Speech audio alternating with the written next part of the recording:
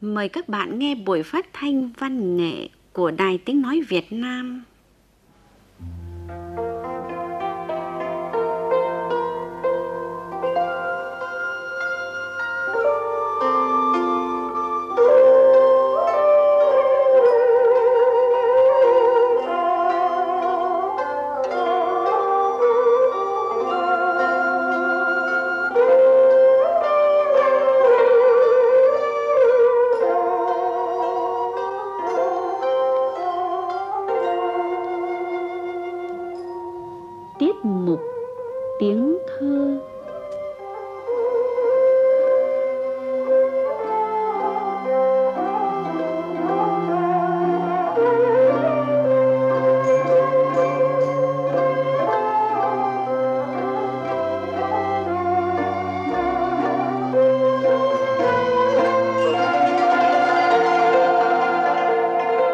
Thưa các bạn, trong chương trình đêm nay, mời các bạn nghe chùm thơ của các nhà thơ từng làm việc tại Đài Tiếng Nói Việt Nam. Góc thơ dịch giới thiệu sáng tác của nhà thơ Nga Alexander Blok. Mời các bạn theo dõi.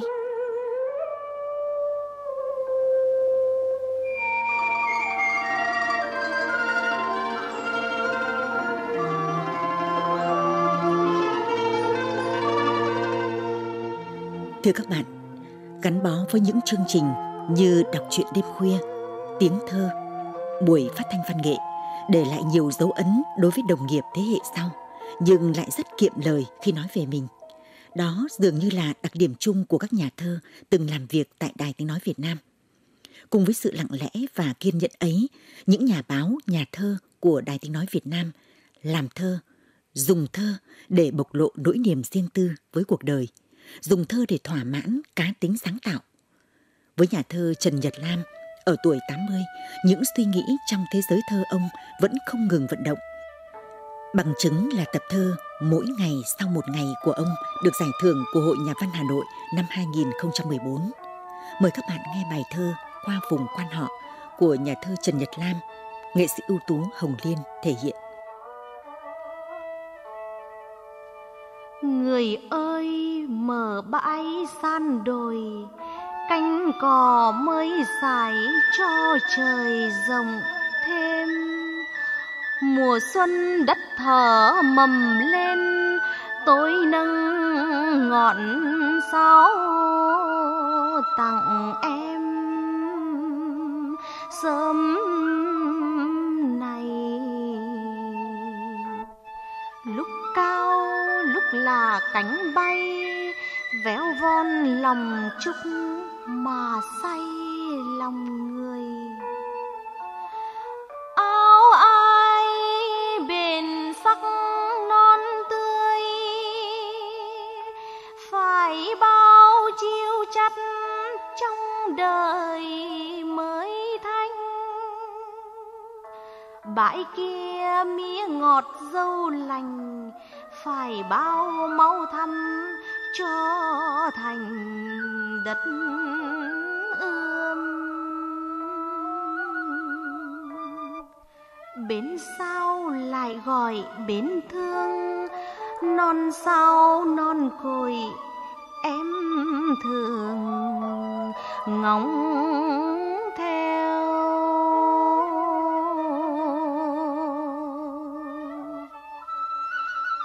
ngăn hoài hòn đá chẳng rêu câu ca hát mãi trong veo riêng làng. Như câu ngọc đáp câu vàng, như trời với nước dịu dàng nhìn nhau. Như đèn hiểu hết đêm thâu, như em dài sông cầu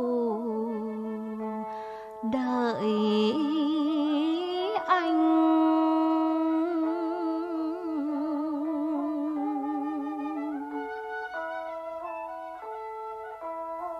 Sinh năm 1937 tại thành phố Huế, nhà thơ Trần Phương Trà, tên khai sinh là Trần Nguyên Vấn, từng có những năm tháng đầy kỷ niệm ở trường Quốc học Huế, đi theo cách mạng, và kháng chiến, rồi về làm việc tại Đài Tiếng Nói Việt Nam.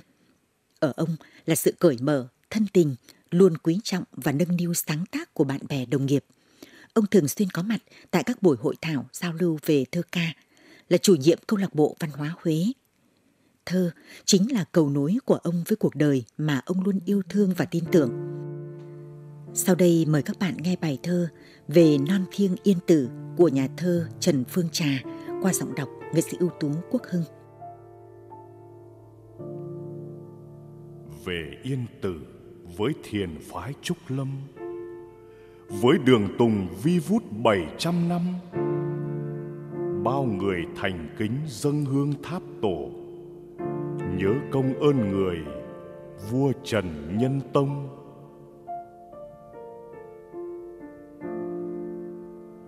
màu xanh cuồn cuộn màu xanh mênh mông. Chùa hoa yên trầm mặc giữa thinh không. Tiếng chuông chùa ngân dài trong bốn cõi. Vọng mãi ngàn năm, sắc sắc, không không.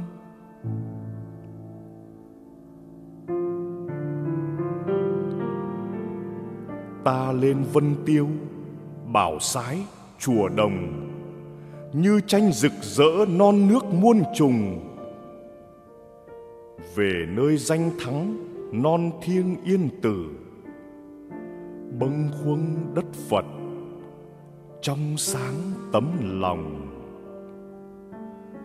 Điềm tĩnh, sâu sắc và không kém phần hóm hình là giọng điệu thơ lê đình cánh trong nhiều bài lục bát, một thể thơ dường như có duyên với ông và cũng được ông dồn nhiều tâm lực sáng tạo phần đằm thắm nhất trong thơ ông là những bài viết về mẹ về quê hương xứ thanh nơi khơi nguồn và ấp ủ cho ông nghị lực để vượt qua những gian khó mà bất cứ ai cũng trải qua trong cõi đời. Bài thơ Thú quê của nhà thơ Lê Đình Cánh thể hiện phần nào tâm tư này. Giọng ngâm nghệ sĩ ưu tú Lài Tâm thể hiện. Quê tôi thấp bãi cao đồng, nặng duyên lúa nước, nợ lòng ngô lai.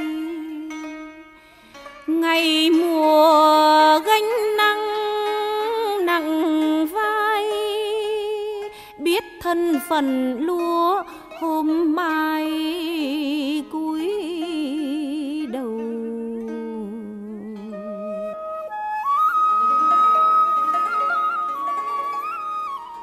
Sông hồng đổi lạch từ đâu?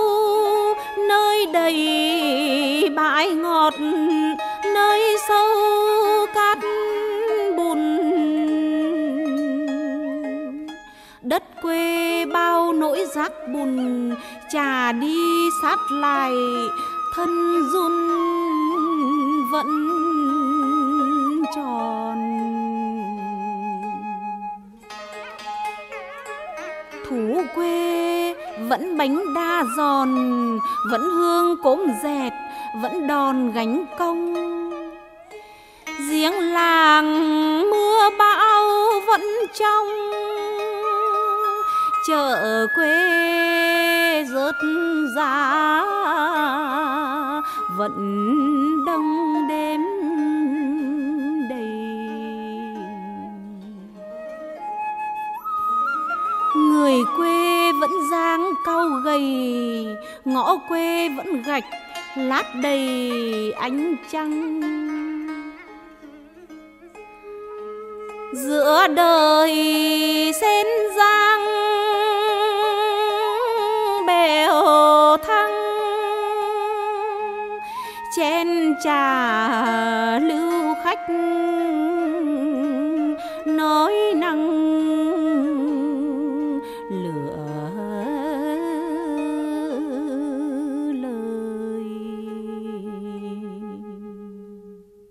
Công khá sớm với giải nhất cuộc thi truyện ngắn báo văn nghệ năm 1974-1975. Nhưng nhà thơ Nguyễn Thị Đạo Tĩnh chỉ coi đó là một mối duyên như rất nhiều mối duyên ràng buộc với cuộc đời mà nhà thơ luôn yêu chân thành, say đắm và cũng nhiều xa sót. Thơ Nguyễn Thị Đạo Tĩnh vừa nồng nhiệt trong cảm xúc, vừa có cái sâu đầm của người phụ nữ thành nam nhiều trải nghiệm mà vẫn giữ được nét trong sáng và quyến rũ. Chao ơi, nếu được về chốn cũ, em sẽ lại đi tìm, sẽ lại yêu anh nghẹn ngào, đắng chát và sẽ lại bắt đầu gieo hạt cho một mùa kim phượng của riêng ta. Đó là những câu cuối của bài thơ Cho một màu hoa của nhà thơ Nguyễn Thị Đạo Tĩnh, nghệ sĩ ưu tú Hương Dung trình bày. Kim phượng mùa này hoa nở chưa anh? Lâu lắm rồi em không về nơi ấy.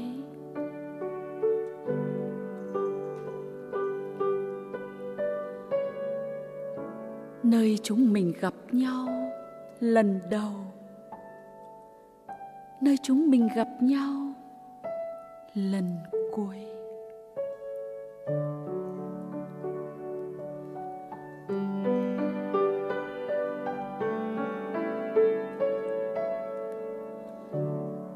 nồng nàn và lặng lẽ chia xa. Cơn cớ gì ngăn cách hai ta? Em chẳng rõ nồng nã thế, bỗng thành xa lạ.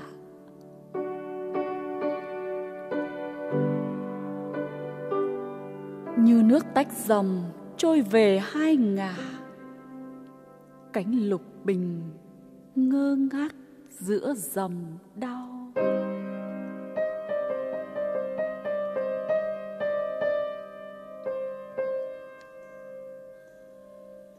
Tháng bảy chưa về, lòng đã mưa ngâu. Hoa kim phượng có còn đắm đuối. Cái màu vàng như treo. Cái màu vàng như gọi vàng mọc gai trong tim.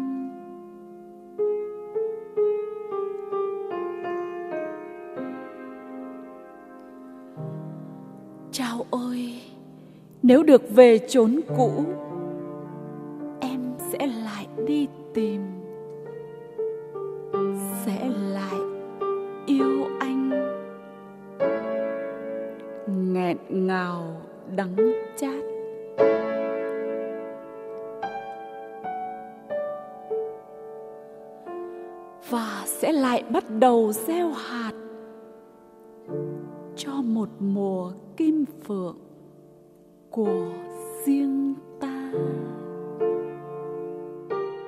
chậm chậm tới mình.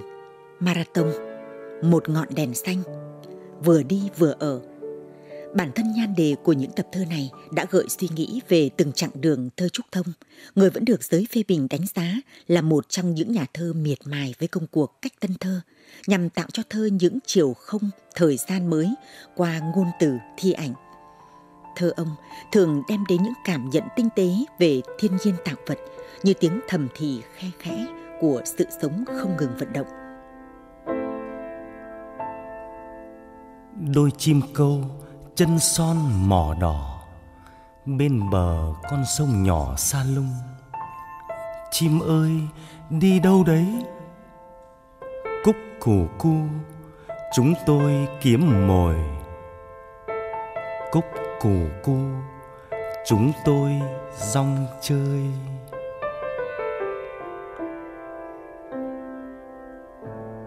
Rồi chim bay vù, một quãng đáp xuống. Chim lại đi đôi trong cỏ gật gù.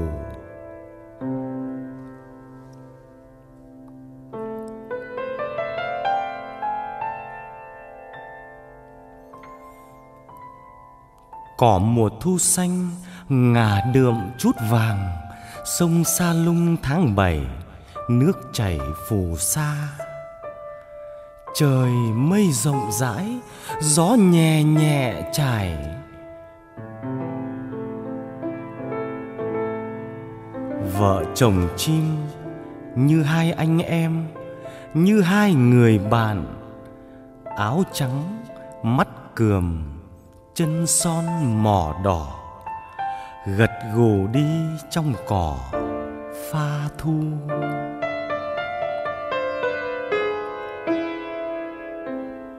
Giọng đọc Ngọc Thọ vừa thể hiện bài thơ Nho nhỏ mùa thu của nhà thơ Trúc Thông. Thưa các bạn, với những đóng góp cho thơ hiện đại, nhà thơ Trúc Thông vinh dự được nhận giải thưởng nhà nước về văn học nghệ thuật năm nay cho hai tập thơ Marathon và Một ngọn đèn xanh. Đây là một tin tốt lành đối với gia đình, bạn bè và đồng nghiệp của ông. Thơ ông đã đến được với người yêu thơ, được các nhà phê bình nghiên cứu, nhìn nhận, soi chiếu ở nhiều góc độ khác nhau trong nghệ thuật. Ở bài viết Sông, ký ức chảy trôi trong thơ Trúc Thông, tác giả Nguyễn Thanh Tâm thể hiện điểm nhìn khái quát về hình tượng sông trong sự vận động của cảm hứng sáng tạo. Xin được chia sẻ bài viết này tới các bạn. Nhà thơ Trúc Thông được biết đến nhiều nhất với bài thơ Bờ sông vẫn gió. Đọc bài thơ này và một số bài thơ khác có xuất hiện hình tượng sông. Nho nhỏ mùa thu, nhớ mẹ sông Châu, chợt quê, đứng ở chợ sông, lát sông quê. Chúng tôi nhận thấy ấn tượng thẩm mỹ bao trùm nhất chính là trạng thái phôi pha, trôi chảy. Phôi pha, nhòa nhạt, càng níu lại, càng trôi đi, phai đi. Chính là trạng thái thường trực của nhà thơ Trúc Thông khi đứng trước sông và nghĩ về cuộc đời, về những gì đang diễn ra, đang mất đi xung quanh mình, rộng hơn là xung quanh cõi người. Ngay khi cất tiếng khóc chào đời, con người đã chính thức bước vào cuộc đấu tranh chống lại cái chết và không thể nào tránh được cái chết. Trong một ý nghĩ điên rồ, cái chết phải chăng chính là kẻ thủy chung bền chặt nhất bên cạnh ta. Chỉ có sự sống là luôn bội phản, từng giây phút rời bỏ ta, đẩy ta gần thêm cái chết. Ý thức hiện hữu bởi thế càng giết sóng ở người nào có ý thức cao về sự sống và cái chết, sự phôi pha, trôi chảy. Sông cũng như cuộc đời vậy, nghĩa là luôn trôi chảy, luôn rời bỏ ra đi. Trúc Thông là người kỹ tính và tinh tế trong việc cảm nhận thời gian, hơi thở của sự sống, niềm gắn bó và cả những phôi pha trong từng khoảnh khắc. Bởi vậy, sông như là biểu tượng của cảm xúc và nhịp điệu đời sống trong cảm quan của thi sĩ. Lá ngô lay ở bờ sông, bờ sông vẫn gió, người không thấy về. Xin người hãy trở về quê, một lần cuối, một lần về cuối thôi. Bài thơ Bờ sông vẫn gió. Sông đã xuất hiện nhiều lần trong thi phẩm này như một hiện diện cụ thể của trạng thái tâm lý và tình cảm. Câu cuối cùng của bài thơ chính là thức nhận của người con trước thực tế không thể níu giữ ấy. Con xin ngắn lại đường gần, một lần rồi mẹ hãy dần dần đi. Ý niệm về sự phôi pha xuất hiện nhiều trong thơ Trúc Thông và trở thành trạng thái thường trực. Ý niệm đó hiện hữu trong hình tượng sông với các dạng thức. Cỏ mùa thu ngả đượm chút vàng, sông Sa lung tháng bảy nước chảy phủ xa. Trời mây rộng rãi, gió nhẹ nhẹ trải. Bài thơ nho nhỏ mùa thu. Có con đò nào xuôi về hơn 30 năm trước, cho tôi lại được ngồi nhỏ nhoi bên mẹ. Mẹ áo nâu dài, gương mặt hiền lặng lặng, sông Châu trôi như êm dịu không cùng. Bài thơ nhớ mẹ sông Châu. Sông Châu gió đầy đôi bờ gần lắm, hai cô gái nhỏ đi sau nghìn năm. Bài chợt quê, vân vân. Sông Châu có lẽ là dòng sông gắn bó nhất, bởi thế cũng ám ảnh nhất trong ký ức Trúc Thông.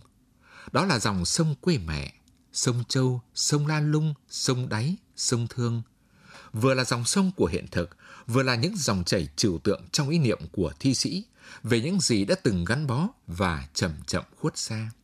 Dĩ nhiên, có những dòng sông gắn với bạn bè ông ở những vùng đất khác, nhưng đã trở thành cảm thức, thành ý niệm về sự mất đi, rời xa của họ. Mặt khác, quan trọng hơn, trong thể loại thơ, có lẽ không cần lắm việc định danh một con sông có thực nào đó. Bởi lẽ, thơ là một trạng thái, một ấn tượng thẩm mỹ thể hiện thế giới nội cảm của thi sĩ. Do vậy, những dòng sông đã hợp lưu và chảy thành một dòng mỹ cảm xuyên qua những không gian của trải nghiệm, ký ức tưởng tượng. Những dòng sông địa lý trong thơ trúc thông nhòa đi, để còn lại là dòng chảy không ngừng nghỉ của đời, của người, của thời gian và vạn vật, của sinh và diệt, còn và mất. Người đọc có thể nhớ về dòng sông của mình và tất cả ký ức hiện diện trôi chảy bên dòng sông ấy. Chính bên các dòng sông, con người sẵn có ký ức dài rộng về lịch sử, về sự tụ hội sinh sôi rồi lặng lẽ mất đi. Ngay ở âm điệu những câu thơ của Trúc Thông đã thấy vọng lên những sắc thái về sự phôi pha này. Cứ phảng phất như lá ngô lay ở bờ sông, như gió thổi, như bèo xưa trôi xuôi, như tiếng chuông vọng trong chiều vợi nắng, như mắt đỏ hoang mang bên dòng phù sa. Không thể nào né tránh chối bỏ được quy luật thế, nên thơ vọng lại, làm hiện diện trạng thái vừa xót xa khẩn cầu, vừa ngậm ngùi chấp nhận. Muốn sang đỏ ngang, ra giữa dòng, ngắm và nghe những gì thật lắng của mẹ, của cha, của tuổi thơ xa lắc, vẫn sông châu êm lặng, thế thôi mà. Bài thơ Lát sông quê Thơ Trúc Thông mang nhiều trạng thái tình cảm của một con người sống cẩn mẫn, tỉ mỉ, giàu chắc ẩn và rất tinh nhạy. Những phẩm tính đó như là căn nguyên tạo nên ý niệm về sự biến mất, phôi pha, trôi chảy của cuộc đời. Và trong sự lựa chọn của mình, Trúc Thông tìm đến với sông như một hiện thực trực tiếp để chuyển hóa ý niệm thành hình tượng, đồng thời cũng trừu tượng hóa dòng sông cụ thể với phẩm tính của nó thành ý niệm thi ca, ý niệm sống. Chậm chậm hay marathon, đi hay ở, dẫu có làm chúng ta bận lòng. Nhưng với Trúc Thông, bên dòng sông Thi Ca, thi sĩ đã thắp lên một ngọn đèn xanh như là một phương cách để đối thoại với tồn tại, để chống lại phôi pha.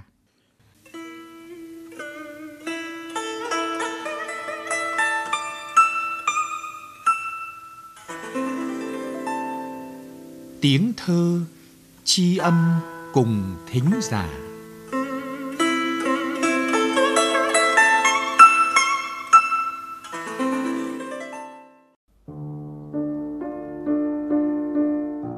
Góc thơ dịch.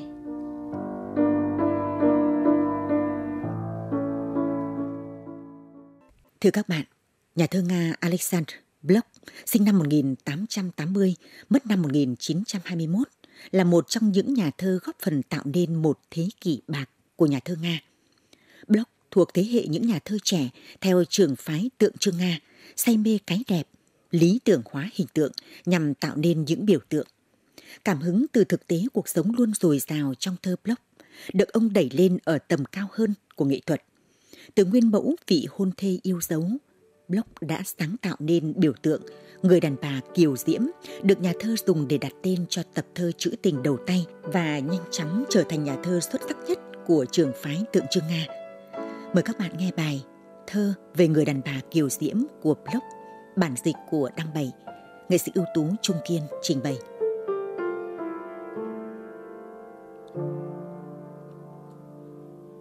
Tôi bước vào tòa thánh thâm u cử hành một lễ nghi tùng tiệm. Trong ánh đèn hồng, chập chờn ẩn hiện. Tôi đang chờ đây, người đẹp tuyệt trần.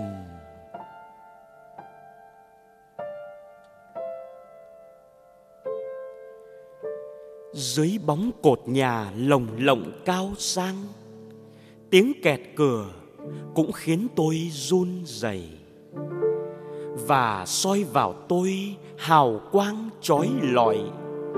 Mà bóng dáng nàng chỉ là giấc mơ êm.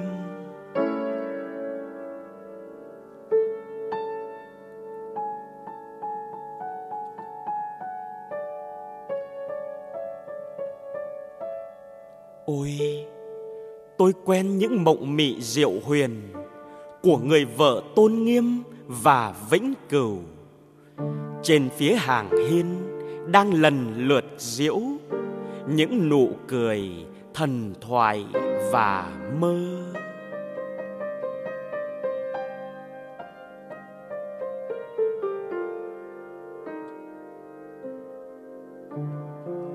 Ôi, thiêng liêng ánh nến thật hiền hòa, đường nét nàng in yêu kiều nhường vậy chẳng nghe được hơi thở và giọng nói mà tôi tin âu yếm ấy là nàng.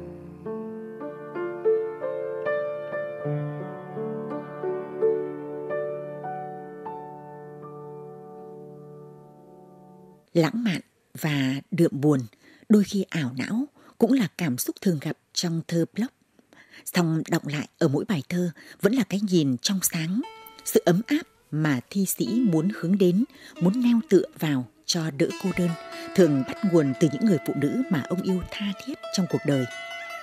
Đây là bức tranh về một ngày thu trong thơ Block, Nghệ sĩ ưu tú Hồng Liên trình bày.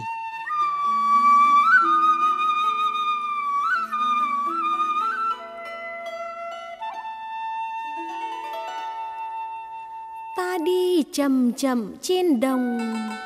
Bạn đường hiền dịu của lòng ta ơi, cho hồn trăng trải muôn nơi, như khi đứng trước chúa trời. Thâm u.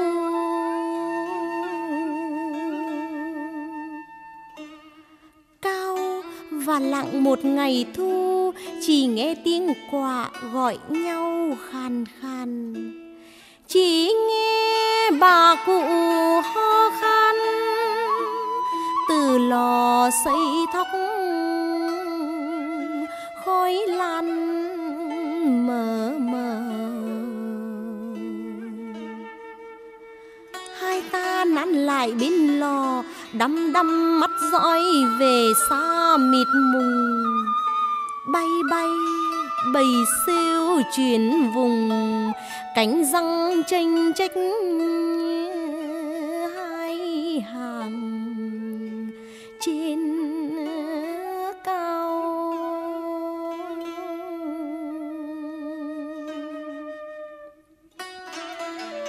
Cớ vì đâu, cớ vì đâu, con đầu đàn chẳng có điểm chi giữa tinh không? Tiếng thu than đến nẫu lòng. Ngày thu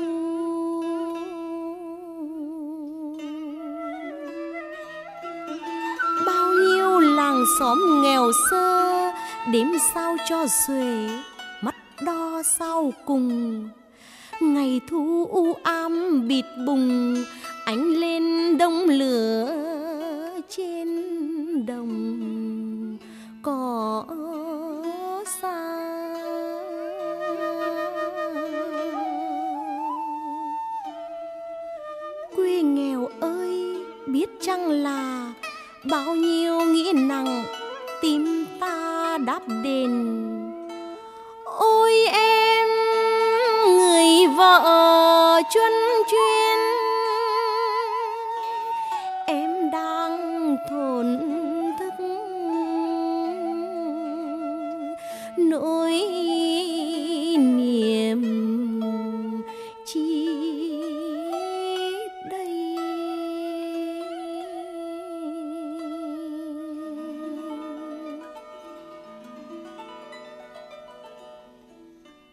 Các bạn thân mến, chương trình Tiếng Thơ đến đây là hết.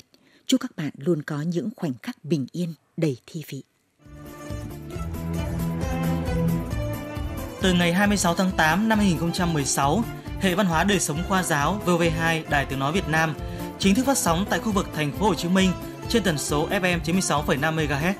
11 tỉnh lân cận Bình Thuận, Đồng Nai, Bình Dương, Bình Phước, Tây Ninh, Long An, Bà Rịa Vũng Tàu, Bến Tre, Tiền Giang, Vĩnh Long và Cần Thơ có thể nghe các chương trình của VOV2 tại băng tần FM 96,5. VOV2 FM 96,5, người đồng hành tin cậy của bạn.